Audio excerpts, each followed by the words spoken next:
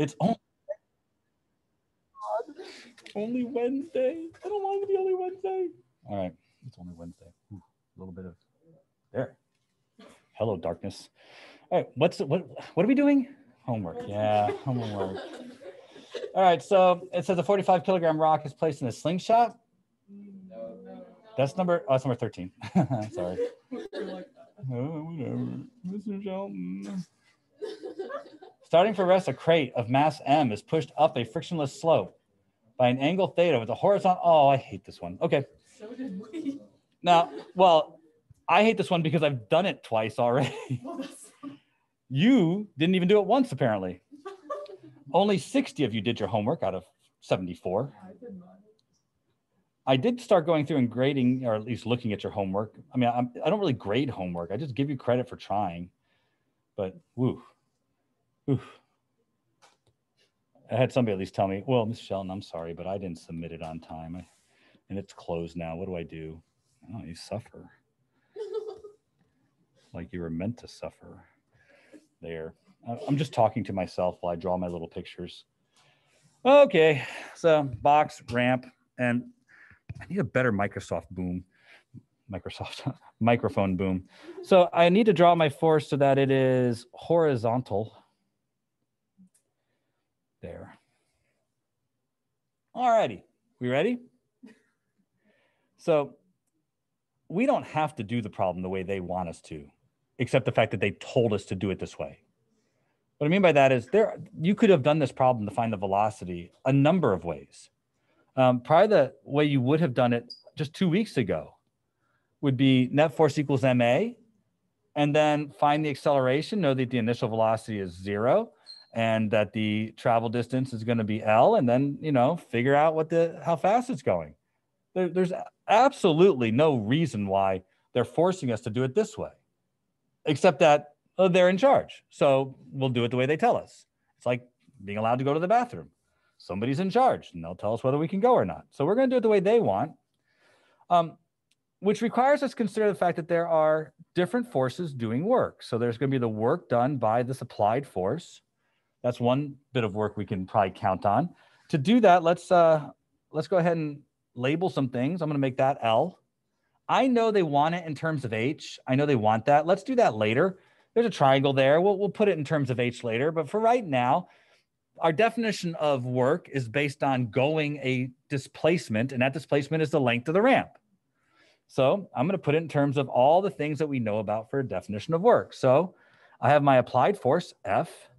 I have the length I'm going to push the box, L, and there's an angle of theta between the force and the ramp because the box goes up the ramp. Good? That one was easy, right? So next we've got gravity. Gravity's acting straight down. mg. Yay, gravity. Now, this one I know is going to bug you a little bit, but I don't care. When I consider what's happening here, the work done by gravity is going to be mg times L times the cosine of 90 plus theta. Do I need to explain why it's 90 plus theta? We have talked about it once, but I could talk about it twice. Can you explain it again? You said you told me. I know. I was really hoping that no one would take me seriously. Nobody else does. Why, why would they be? Okay, so I'm going to put that there. Mhm. Okay. Would you agree this is 90 degrees? Yes. Would you agree this is theta? Mhm. Would you agree that this is 90 plus theta? Okay. That's it. I'm good. Yep. Awesome. Awesome. No, I want to get all that crap out of there. All right. Um, there's another force acting on the box. And I'm pointing it out because we, there's another way to do this problem. Actually, a couple more ways. There's a normal force acting on the box.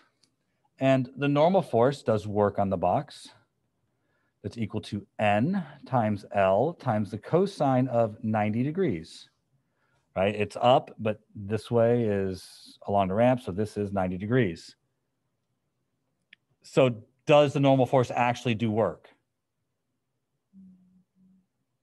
He asked hoping somebody would give him an, at least a, a an, an I don't know, maybe some body language about yes or no here, because you've been taught that since you were children, whether it's one of those. So is it yes or no? It is no. That's right. Good job. Because cosine of 90 degrees is zero. The normal force doesn't have a component in the direction of motion. Now be careful. I, I want to tell you that we could do this problem a completely different way in that they wanted this in terms of H. And something I have left out of our conversation because it, it, it doesn't conflict, but it requires that you understand this first before you can understand what I'm about to say. And if you don't understand this, what I'm about to say is just going to distract you. And that is all of these forces that are acting here are considered conservative forces. And because they're conservative forces, they are path independent. Now, what that means is ultimately the box just goes up a distance h. That's what we're interested in doing is putting the box up a distance h, working against gravity. We could do the entire problem in the y direction only if we wanted and still get the right answer. But if we did the whole problem in the y direction only, we would find that the horizontal force doesn't do work, the normal force does, because it's the only one that acts upwards. The problem is the normal force exists because of gravity and the supplied force. So you could do the problem this way, but it's harder. I wouldn't do the problem this way. And if you do the problem this way, another problem exists, and that is that they add friction. You would be unable to do the problem that way because friction is not a conservative force. The longer you push the box across the ground, the more energy it takes away. And that's not path independent, that is path dependent. I've not talked much about path independence versus path dependence, but I will have to someday. And since you guys love to hear me talk, I'm sure one day that'll be a good day when we talked about the difference between path independence and path dependence. Because imagine I have to say dependence and independence over and over and over and over again. That's a lot of coffee. So this is it. This is our three versions of these are our three amounts of work to be done. We need to kind of crush those together and set them equal to the change in kinetic energy. This is a work energy theorem. That's what they want us to do. So the top one is going to be FL cos theta. Um, this next one's going to be trouble because I've got cosine of 90 plus theta. But I am a thousand percent confident that every single one of you knows that that's minus sine theta. I know that that's not true, and somebody should probably ask, uh, what? But it is. So would anybody like to do the a what? How many of you didn't know that cosine of 90 plus theta is equal to minus sine theta? You all knew it? You should know that. You should know things. It's okay for you to know things. I, I want you to know things. I wish you did know things. But it's okay. You do know some things, like probably what the Kardashians are doing and what Kanye is doing next week. You probably know some things. So we wanted what cosine of 90 minus theta was. Well, I'm sorry, 90 plus theta. So 90 plus theta is right there right? So the cosine of this angle would be that length. Agreed? Isn't that the same as saying the negative of this? That's why cosine of 90 plus theta is equal to minus sine theta. There's probably another way to prove it, but that's good enough for me and therefore good enough for you. So, and besides, if you're really paying attention, and all three of you who are, watch this, there is a component of the force of gravity this way. And that component is mg sine theta. And it opposes the direction of motion. So wouldn't we have expected this to be negative mg sine theta times the length? So that's not a surprise. It has to work this way because I could have broken up the weight into components and done the problem. I didn't, but I could have. All right, so I'm making this take way too long, but I've been doing this all day. So not that you guys have. Why should you suffer? Well, because. suffering. It makes me feel happy. FL cos theta minus MGL sine theta equals change in kinetic energy. Um, now L, and let's just face it, co- uh, sine of theta is H over L. So now I'm going to get rid of that L and put something for H. So H equals, oh, what am I doing? L equals H divided by sine theta. So that's going to be F H over sine theta cosine theta minus mg h over sine theta sine theta equals change in kinetic energy. All righty. Bye-bye, bye-bye. And looks like I got a final answer of FH cotangent theta minus mgh equals 1 half mv squared. That'll do. That'll do. You guys solve for V. I, I'm not worried about you guys doing that. But um, yeah, that, that's it. Now, before we leave this for a minute, is there any question about how we got here? Jack says no, so we're good to move on. But do you really realize what this actually tells us? If, if you've been paying attention in class, and I, I hope that you are, look what it really does. This is conservation of energy too. I gave energy to the box. How much energy did I give to the box? This much. Where'd that energy go? Well, some went into potential energy, some went into kinetic energy.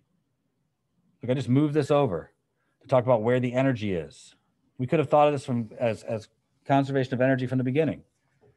You give the box energy, how much? I gave it FL. That's how really how much energy I gave it. FL cosine theta. That turned into MGH and one half MV squared. So our statement of work energy theorem is conservation of energy all the way, all the time. All right, good. I'm glad I made it take time. So now there's only 34 minutes left of doing homework questions. Next. Yes. 11. 11, please.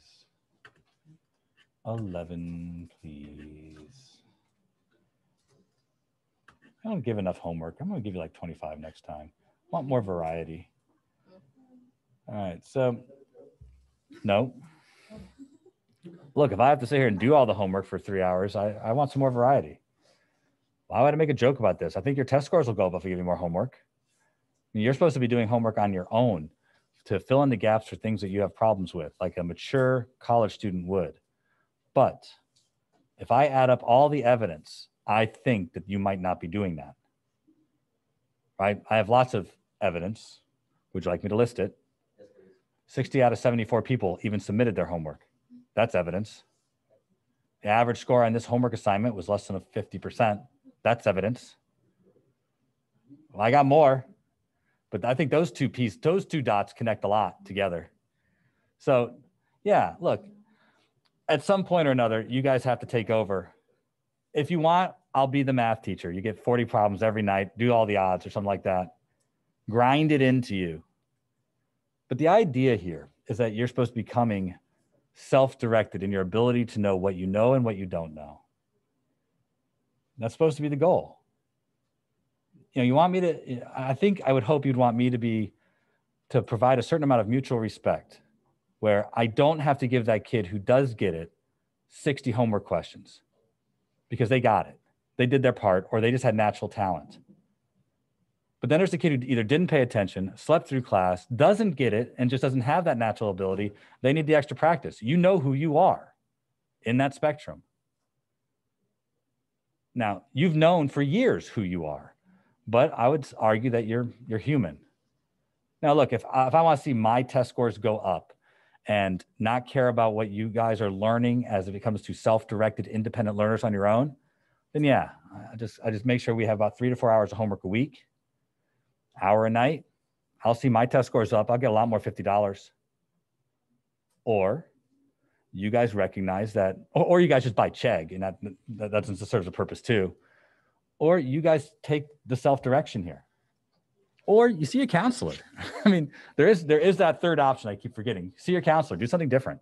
This class might not be for you, but like I said, I my belief is if I want to make you better college students, that I'm trying to put you in the driver's seat for figuring out what you don't know, so that you can fill that gap. That's what it has to be. That's where you have to become self-directed. But I'm, I'm sorry, I didn't realize soapbox is over here. Let me get off that high horse. The this is the sled dog problem, right? All right. So the sled dog problem, one of the biggest misconceptions about the sled dog problem is that you don't understand what they're asking you to find. They want the maximum amount of power that the sled dogs applied to the sled. So when I consider the sled, it's got, oh, it's a horrible sled. It's got a, that's just terrible. I can't, that can't go on the internet. No, no, no, no. No, no, no, no, no. No.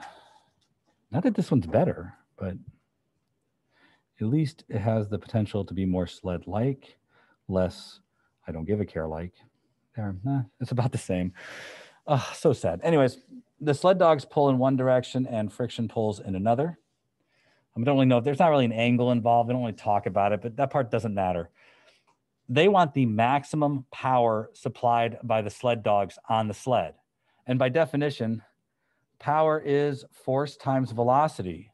In this circumstance, this is the best choice to make.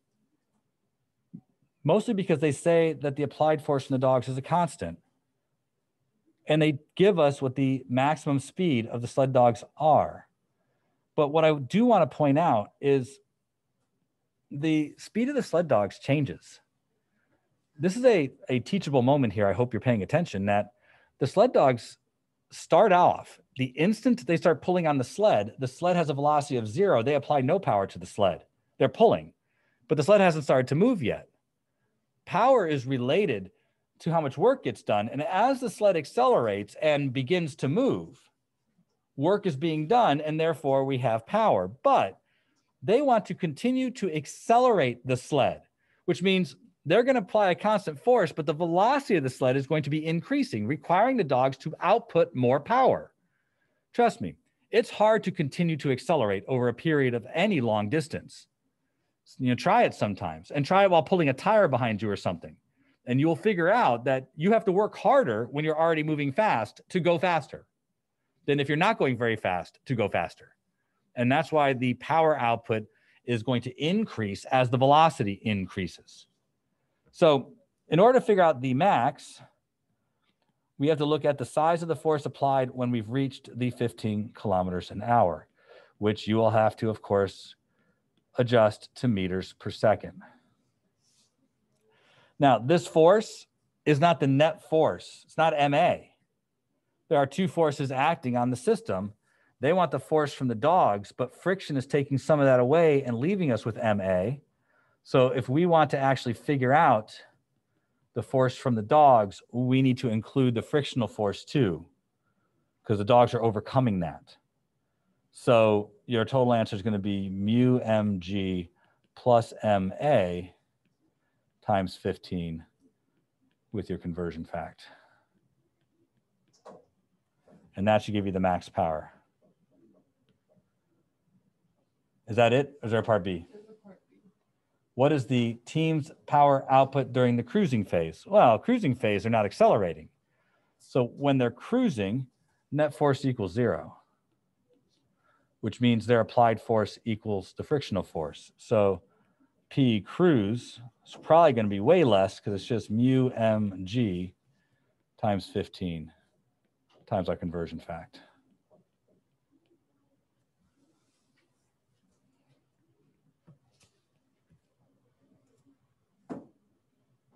Yay, me. Next. Yes, sir. Which one? 12. 12. All right. All right. Number 12. I didn't even look at the people at home. Did anybody at home raise their hand? No. Oh, all right. So Max is next. Um, got into an argument about this question in um, in sixth period. I I don't take what I'm about to say lightly, So this is the lawnmower question. And if you guys have been in my class, especially more than one, one year, you realize I very seldom make this statement because books are well edited now. And it's hard to find books with a lot of errors in them. I disagree with the way this problem is done by the book. I think the book's doing it wrong. I think I think there is an argument to be made for why they're doing it the way they're doing it, but based on what they ask, which where am I looking? Where's the question mark? How much power does the gardener have to supply?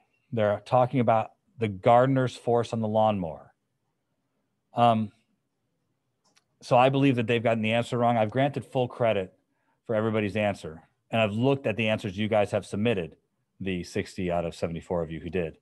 And I think that there might be something wrong. Now, I'm trying to understand why they want the answer they're providing to make sure perhaps I'm not teaching you wrong. So I don't take lightly saying that I think the book is wrong, but I think the book is wrong.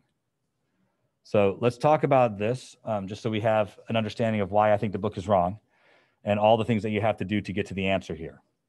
So you're applying a force to the lawnmower the lawnmower is experiencing a frictional force and travels at a constant velocity, which means that the net force on the lawnmower is zero. We've done this enough where I don't think I have to put a lot of this out there. So uh, you do your free body diagram and all that, and you'll figure out that the F cosine theta minus friction equals zero.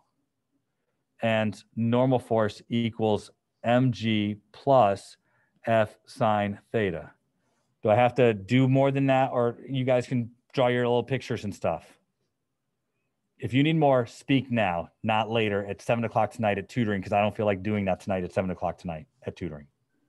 Why is it plus sine theta?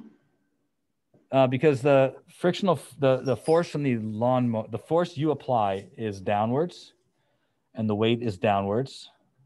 Um, never mind. Never mind, or I got it. I got it.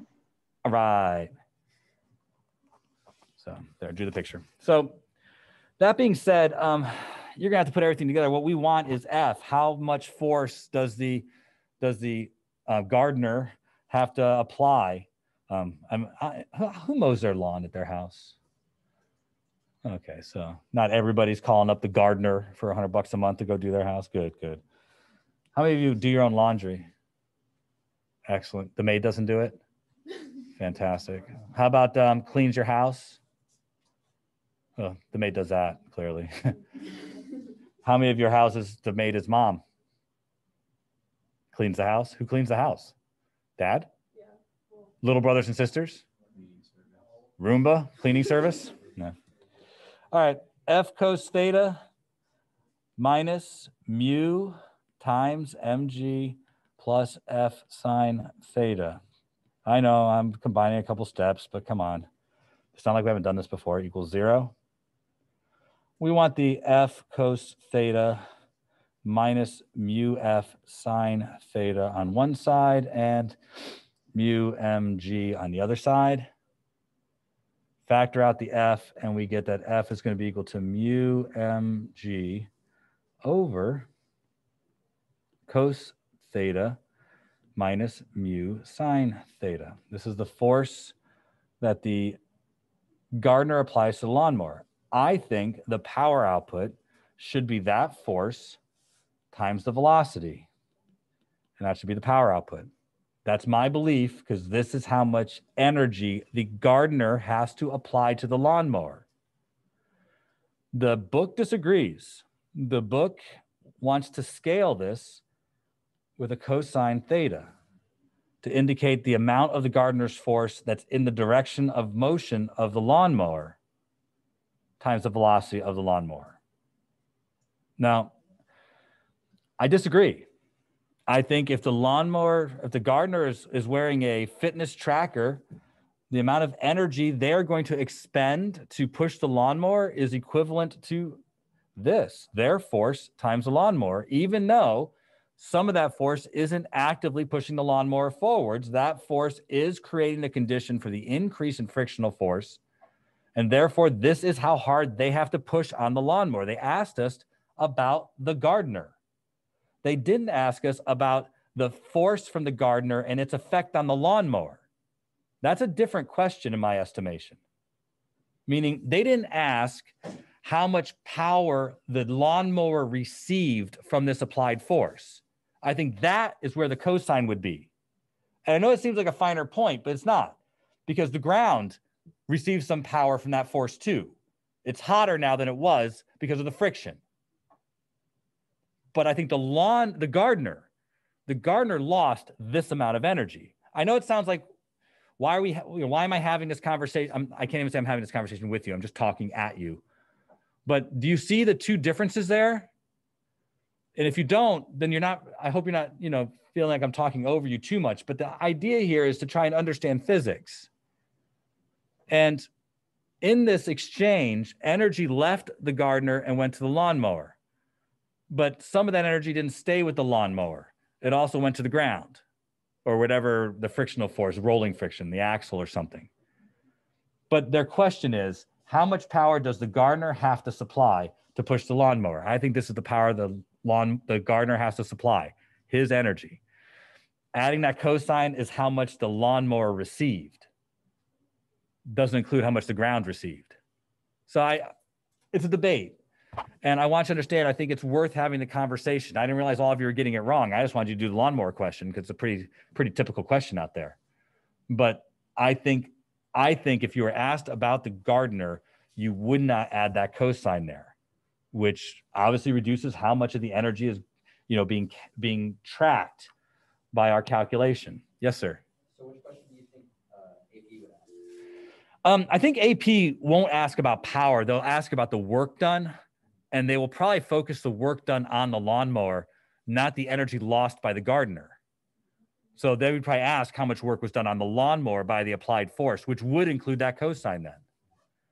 But like I said, that's not the question that was asked, which is why I didn't. I you know if they asked me how much energy did the did the lawn did the gardener lose, like power tends to be a footnote, so they probably would not have done those in terms of power. That that just tends to be, and the only difference is instead of having V there, you'll have the displacement of the lawnmower. That is the only difference for a constant force. But I think they would focus the question on the lawnmower itself and ask about the amount of energy that was transferred to the lawnmower. So I don't know that they would talk about how much energy was lost by the person who applied that force. Does, does that make sense?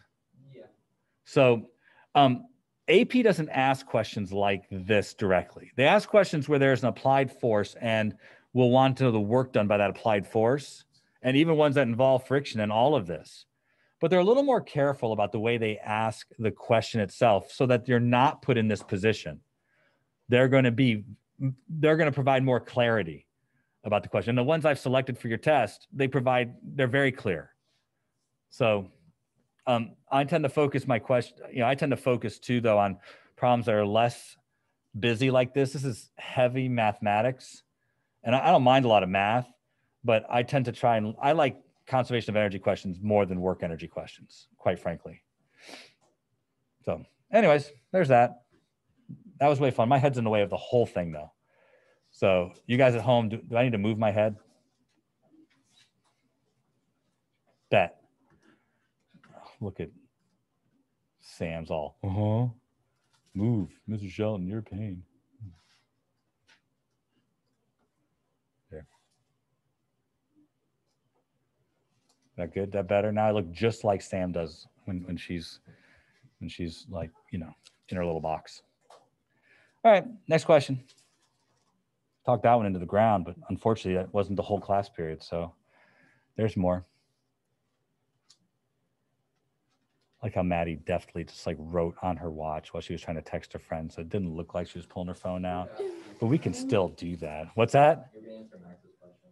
Oh, that's right. Max had a question. Max is gone. I mean, all, all, all I see is his empty bedroom now. Max, what's your question? Yeah, not even there. Oh. Mr. Maybe Shelton, Oh, you're not Max. Could you do number uh 13? I can do them all. I'm Mr. Shelton.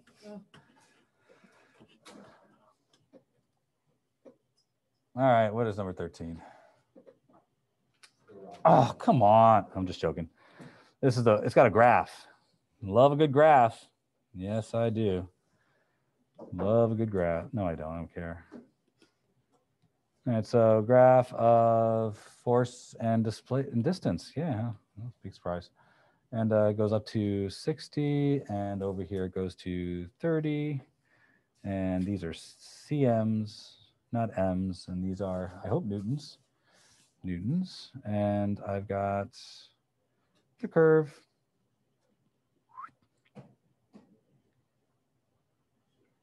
Good enough? Does that look like the picture? Eh, I don't care. Um, a 45 gram rock is placed in a slingshot and the rubber band is stretched. The magnitude of the force of the rubber band on the rock is shown by the graph. Yep. Um, I hope you realize that this is F equals KX. Right? It's perfectly linear. So this is definitely just a Hooke's law problem because it's linear. Now, if it was a curve, then, then it would be a nonlinear spring. But this says the more I pull it back on the elastic, the more force I get, and it's perfectly linear. So it is whatever the slope of that is, is K. In fact, not whatever the slope of that is, that's 60 divided by 0.3. That is the slope, which looks to be 200 newtons per meter. That's got to be the, the value of the spring constant of the spring. So I don't know what the problem asks, but there we go. Um, they give it in centimeters. I could have left that in centimeters. I could have done 60 divided by 30, which would give me two newtons per centimeter. There's no rule that you have to be newtons per meter when they're giving you all your values in centimeters, but you're always safest converting to meters, always. So 45 gram rock is placed in a slingshot and the rubber band is stretched. The magnitude of the force of the rubber band on the rock is shown in the graph. The rubber band is stretched 25 centimeters and then released. Woohoo! What is the speed of the rock? Conservation of energy suggests that when the slingshot, which I am going to carefully draw for all of you because I am such an amazing artist. Look at that. This is, you've never seen art like this. Mm-hmm. That's definitely true. You've never seen art like this. There, I have stretched my my my elastic back and then in a flash, I threw open the curtains and threw back the set. No, I did not do that. and the rock flies away. Whee! So I'm thinking elastic potential energy here, kinetic energy there. conservation of energy, strict conservation of energy.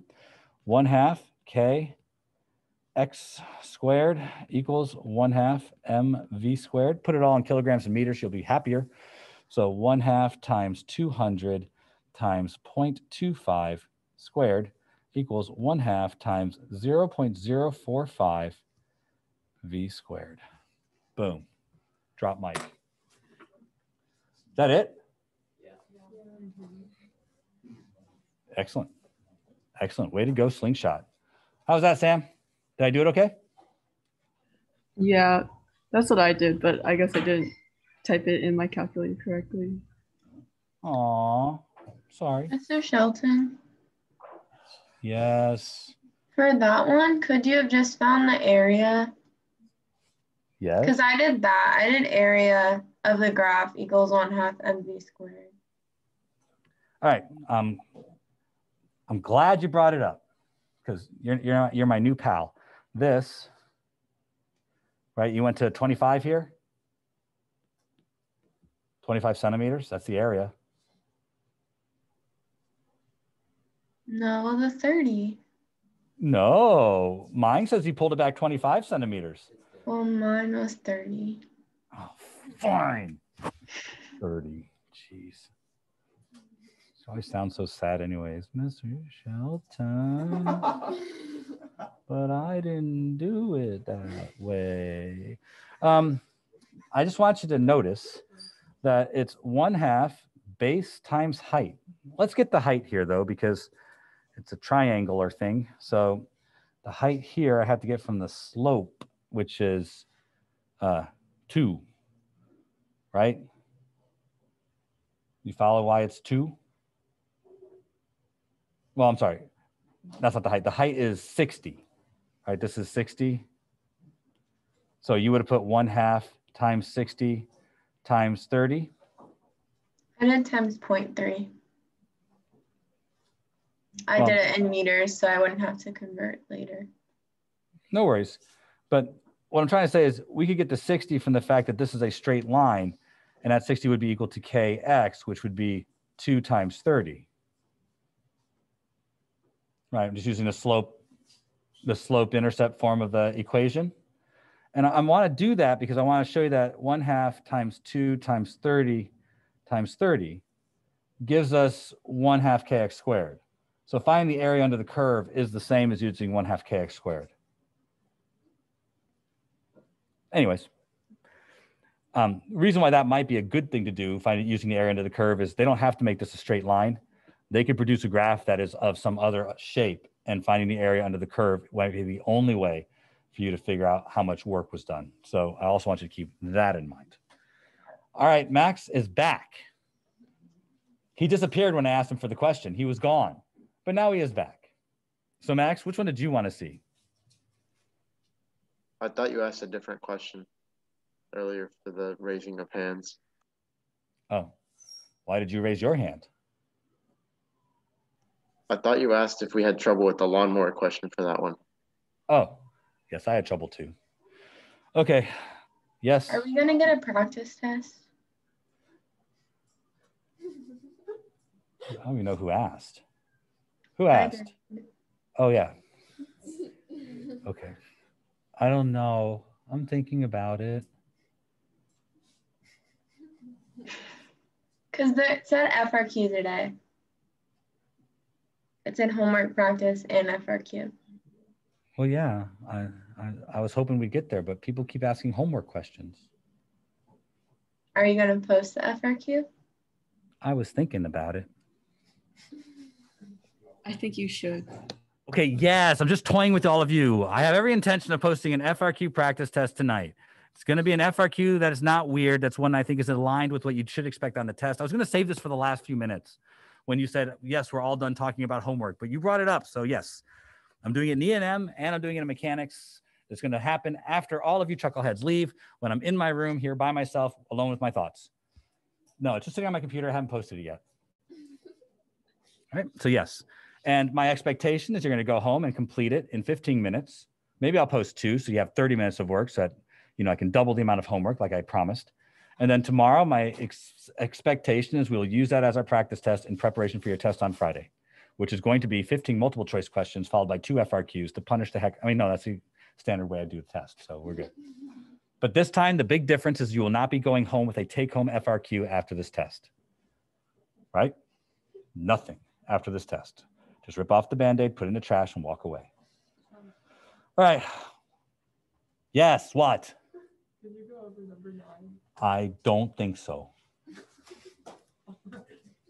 I will look at it, but I'm not going over anything.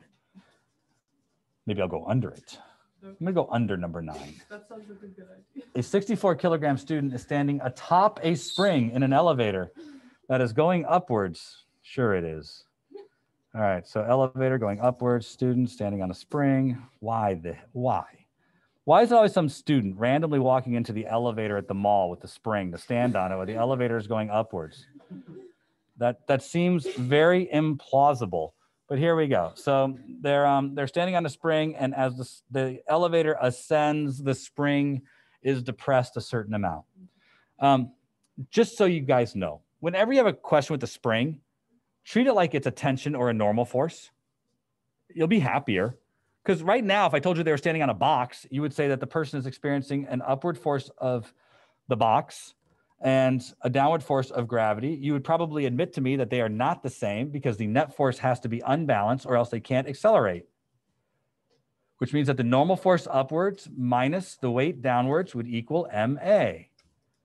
But it's not a box. They're standing on a spring. So the amount of actual force comes from the spring. And now somebody's going to ask the magic question, but you wrote that force is equal to minus kx every single time. And then you made a big freaking deal about why there's a negative sign there and how important it is. Mm-hmm. You're right. But I also made a big deal that when you're doing Newton's laws, you assign direction to your problem based on the direction of the arrows that you've drawn. What direction is the spring pushing on the person? Up. Therefore, in this function here, we've assigned the direction to be up. Interestingly enough, what direction does the actual spring compress? Down, which is a negative direction.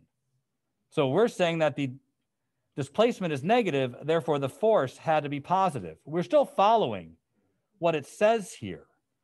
We're just, we're not blindly putting in a negative sign. We never do, especially on vector questions. So I think that probably clears up most of the problem, but this is what you have to do. Um, so Kx equals mg plus ma. You're gonna solve for x, to figure out how far the spring is compressed. I don't know if there's any other parts of this problem besides that. That's, No. no, that's about it. Any questions about that? All right, well, um, I still have six minutes. And since I'm still on the clock getting paid, you know I'm gonna, I'm gonna keep talking unless you have another question for me. Why is this class an hour long? Yeah, this class appeared slower. Well, it's not. It's just that because it's physics, it feels slower because it's more No, it boring than isn't. classes. Okay, it's 57 minutes. Sorry. It's but why is because it that long? you're, you're not going to like the answer, but I'll tell you the answer anyways. Somebody had to come up with a schedule of the day today that made lunch a little bit longer. And in their apparently massaging of the schedule, they couldn't find a way to make the lunch a little longer without not making the other classes like the right same length. They like couldn't figure it out. Now, what cracks me up about this is not only did they make this class a little bit longer than all the other classes, which they did, this isn't the first time they've done this. We do this every year, the Wednesday before Thanksgiving, sometimes a Thursday. So it's not like this is the first time, but this is the first time they've screwed up so badly and made this class 10 minutes longer than all the others. I would say it's because they're cleaning, but that's not the reason. Because culinary cleans on their own all the time. So I don't I don't know. I would say I didn't make the schedule, but I know who did, and therefore I am not surprised. How's that? Maybe this is why I'll never win teacher of the year.